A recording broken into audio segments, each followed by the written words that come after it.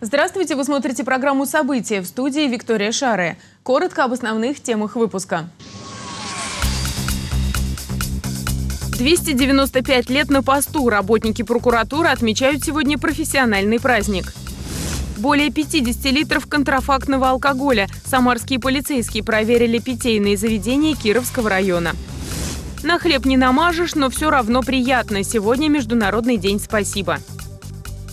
Профессиональный праздник отмечают сотрудники прокуратуры России. Этот год юбилейный. Надзорному ведомству 295 лет. Образовано оно было 12 января 1722 года указом императора Петра I. Основными критериями отбора на службу были названы честность, ответственность и порядочность. Традиции соблюдаются и сегодня. К торжественной дате прокуратура Самары подвела итоги работы за прошлый год. Было выявлено более 36 тысяч нарушений закона. Свыше 6 тысяч виновных привлекли к ответственности. В суды направили более трех тысяч исков на общую сумму свыше 74 миллионов рублей.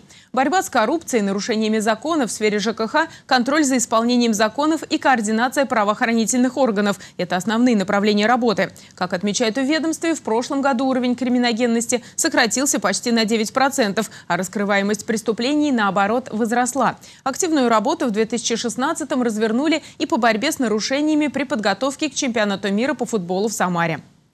Был выявлен э, факт хищения денежных средств э, подрядчиком при производстве э, при строительстве подземных пешеходных переходов на территории, ну, через Московское шоссе. В акты выполненных работ были включены сведения об использовании более дорогого нагревательного кабеля, чем тот, который фактически был использован. Уголовное дело расследуется, находится на контроле прокуратуры. С этого года студентов колледжей и техникумов не будут призывать в армию, пока они не закончат учебу. Раньше это правило касалось только тех, кто обучается в вузах. Всего осенью этого года на военную службу отправились более двух с половиной тысяч призывников. Самарцы служат в том числе в президентском полку, в спортивной и научной ротах. Алина Чемерец подробнее. Самарская область норму выполнила. Вооруженные силы регион направил даже больше призывников, чем полагалось по заданию. Осенью 2016 года ряды российской армии пополнили почти 3 тысячи новоиспеченных танкистов, артиллеристов, десантников. 15 человек служат в президентском полку, шестеро в спортроте и трое в научной роте в Краснодаре. Последние на особом счету. Их приметили еще во время учебы в университете и заранее выделили им места. Также более тысячи человек в прошлом году заступили на службу по контракту, в том числе 30 девушек. Представительницы прекрасного пола играют в военных оркестрах, служат связистами и медиками. Минимальная зарплата в армии сегодня 17,5 тысяч рублей. Военнослужащим предусмотрены надбавки. Если он сдал физическую подготовку, там на хорошо или отлично, идут надбавки за сдачу физической подготовки. Это большие, до, до оклада в месяц. Если вот э, сержант прослужил э, около 4-5 лет, вот, имеет э, большую квалификацию до 50 тысяч получают уже ребята. За два года в регионе почти вдвое снизилось число тех, кто уклоняется от воинской службы. По результатам осеннего призыва 2016-го их 221 человек. Теперь им придется ответить по закону. Их товарищи всех отслеживают, всех их проводят розыски. Значит, э, всего направлено сформировано материалов в следственные комитеты за осенний призыв 26, и они переданы уже на рассмотрение привлечено к административной ответственности 56 человек за осенний призыв 2016 года. По всем ребятам они все находятся на контроле, все они отслеживаются. С этого года студентов колледжей и техникумов не будут призывать в армию, пока те не закончили учебу. Раньше такой привилегией пользовались только ученики вузов. Весенний призыв 2017 года стартует 1 апреля. Алина Чемерис, Максим Гусев. События. Более 50 литров контрафактного алкоголя изъяли самарские полицейские. Внеплановые проверки проводились в Кировском районе Самары совместно с активистами движения «Народный контроль». В поле зрения правоохранителей попали два бара и один магазин, где без соответствующих документов реализовывали нелегальное спиртное. Больше всего крепких напитков изъяли в баре в районе улиц проспекта Кирова и Ташкентской. В общей сложности 40 литров коньяка и водки на сумму 20 тысяч рублей. За совершение указанного правонарушения в отношении виновного лица возбуждено дело об административном правонарушении, предусмотренном частью 3 статьи 14.16 Кодекса Российской Федерации об административных правонарушениях. За совершение указанного правонарушения виновное лицо ожидает административный штраф в размере от 5 до 10 тысяч рублей. Встать на учет в налоговой службе стало проще. С начала года вступили в силу изменения в правила регистрации юридических лиц и предпринимателей. Свидетельство как документ строгой отчетности больше не требуется. Все переводится в электронный вид. Что же касается простых граждан, то теперь они могут получить ИНН в любом налоговом органе страны. Олег Зверев тоже изучил нововведение. Государственная регистрация происходит на третий рабочий день. Забрать документы вы сможете после государственной регистрации, то есть на четвертый день, либо в любой другой день для вас удобный. Угу. При себе надо иметь расписочку и паспорт. Всего три дня, и вы индивидуальный предприниматель. Максим Коннов сегодня подал документы в Единый регистрационный центр налоговой службы. Он планирует заниматься строительно-отделочными работами. Сейчас выдаются листы записи. Свидетельства не выдаются уже. Вот. И уведомления о постановке на учет. С начала 2017 года вступили в силу изменения в правила постановки на учет юридических лиц, индивидуальных предпринимателей и крестьянских фермерских хозяйств. Документ строгой отчетности, свидетельство о регистрации на фирменном бланке больше не нужен. Выдается лист записи, в котором содержится информация об электронной отметке. Это значительно упрощает налоговую отчетность, а значит и создает дополнительные условия для развития бизнеса, в том числе легализации предприятий, которые пока еще не встали на учет. За прошлый год в Самарской области было создано более 24 тысяч хозяйствующих субъектов, ожидая ожидается, что в наступившем 2017 будет больше. Сейчас все в электронном виде. Сейчас открытие тоже вступило недавно в силу, открытие счетов в банке. У них тоже теперь можно дистанционно включить и будет на основании сведений, включенных в ЕГРЮЛ, которые банки получают по системе межведомственного электронного взаимодействия. Поэтому свидетельство как таковое, оно уже не нужно. Изменения касаются и правил постановки на налоговый учет физических лиц. Чтобы получить ИНН, теперь не нужно ехать в инспекцию по месту жительства. Достаточно написать заявление и предъявить паспорт в любом отделении налоговой службы в стране. Олег Зверев, Артем Сулайманов. События. Оплачивать налоги теперь можно за любого человека, за своих родителей, супругу или детей. Это удобно, когда родственник по каким-то причинам не может сделать этого сам, а также в случаях, когда сделка была не своевременно переоформлена и по документам владеет имуществом один, а по факту другой. Раньше налоговый кодекс обязывал граждан платить сборы строго за себя лично. И если средства приходили с чужого счета, это считалось незаконным. Сегодня, когда можно платить налоги даже с телефона, устаревшая законодательная норма мешает. Теперь оплатить налоги не выходя из дома, можно через личный кабинет налогоплательщика на сайте ФНС России и через сервис «Заплати налоги». И, конечно, остается традиционный способ в отделении банков. В настоящее время разработаны рекомендации по порядку заполнения платежных документов иными лицами. А для чего это нужно? А, дело в том, что оплата за иных лиц из бюджета Российской Федерации не возвращается. Соответственно, при заполнении платежных документов надо быть особо внимательным и э, пользоваться данными рекомендациями. Далее коротко о других событиях дня.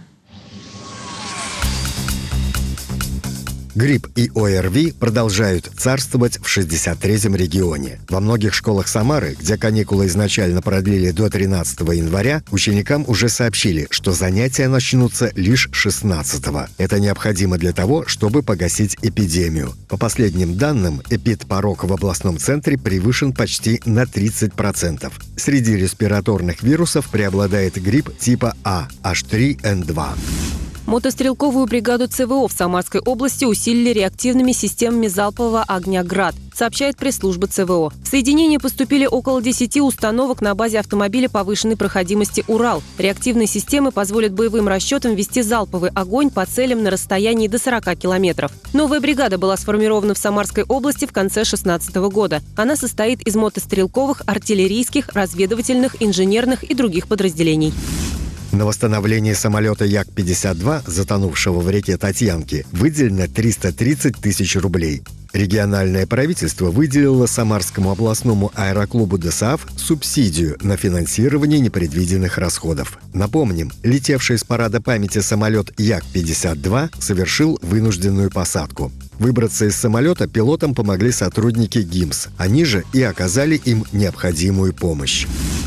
МЧС просит самарцев не купаться на крещение. 19 января во всех храмах пройдут праздничные богослужения. Традиционно будут работать и купели, и ордане. Однако в связи с неравномерностью льда на реках и озерах выходить на водоемы опасно. Официально открытых купелей не будет. И потому сотрудники МЧС предупреждают, что в крещенские праздники в связи с этим планируют профилактические рейды, чтобы не допустить несчастных случаев. Роскосмос назвал причиной падения прогресса нарушение технологической сборки «Союза У». Аварийная комиссия рассмотрела результаты работы специалистов, изучивших ситуацию, возникшую при запуске 1 декабря 2016 года с космодрома Байконур. Напомним, в результате аварии произошло нештатное механическое разделение третьей ступени ракеты-носителя «Союза-У» и транспортного грузового корабля «Прогресс МС-04» на высоте 190 километров над безлюдной местностью в Туве. Большинство фрагментов аппарата сгорело в атмосфере. Экспертиза установила, вероятная причина аварии могла крыться в нарушении технологии сборки двигателя. В ближайшее время на предприятиях ракетно-космической отрасли пересмотрят подход к обеспечению безопасного запуска прогресса МС-05.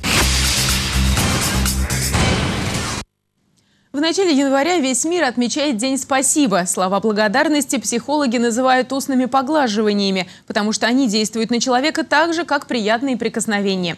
Лингвисты по сей день расходятся во мнениях, какое значение у слова «спасибо», переставляют корни, суффиксы и окончания, раскладывая целые морфологические пасьянцы. Олеся Корецкая выяснила, какой вариант предпочитают самарцы и кому они готовы сказать «спасибо». Его на хлеб не намажешь и в карман не положишь, но без него не обойтись. Спасибо – короткое слово с длинной историей, которая началась в XVI веке. Слово «спасибо» восходит к выражению «спаси Бог», которое относилось э, к этикетным формулам древнерусского языка. Эта формула, конечно, восходила э, к церковному общению, к общению, к высоким пожеланиям, спасению, прежде всего, спасения души. Слова быстро вошли в мирскую речь, произносились по несколько раз на дню. И постепенно выражение «спаси Бог» превратилось в короткое слово «спасибо». В церковном этикете пожелание о спасении осталось в первозданном виде и используется до сих пор в разных вариантах. Одни специалисты уверены, что «спасибо» – это выражение благодарности, другие, что это способ защиты. Самарцы все-таки за первый вариант. Дочери. Да. Огромное большое спасибо сыну, снохе и вот. внуку. За как это объяснить? Любовь и внимание к нам. К нам все же какие-то внимания есть пока. Не какие, так и большие. Вот. Хочу своей семье, за то, что они у меня есть, за то, что они такие хорошие. Мы все такие дружные. Своей маме за все хочу сказать спасибо. Мужу, дочери. Ну и друзьям, наверное. Кому вы хотите сказать спасибо? Родителям. За что? За, за то, что родился. Кому А мне еще? Хватит. Вы хотите кому-нибудь сказать спасибо? Ой, хочу. За что? За все. За доброту, за ласку родным, близким. Спасибо за то, что живу и за то, что все прекрасно. Вместе с волшебным словом «пожалуйста» «спасибо» тоже обладает магическими свойствами. Оно выражает внимание и дарит положительные эмоции. Не случайно туристам советуют выучить слова благодарности на языке другой страны. Ведь даже сказанное с акцентом «спасибо» поможет наладить хорошие отношения. Олеся Корецкая, Максим Гусев. События. А вот о чем мы расскажем в следующих выпусках. Если бы не он, в Самаре не строили бы ракеты. Сегодня исполняется 110 лет со дня рождения великого конструктора Сергея Королева. Поработали на славу. Самарские полицейские сегодня подведут итоги года. Селфи или себяшки по-прежнему в моде, самарцы в тренде. А вот что говорят психологи. На этом наш выпуск завершен. Мы рады вам сообщить, что у нас уже 11 миллионов просмотров на YouTube.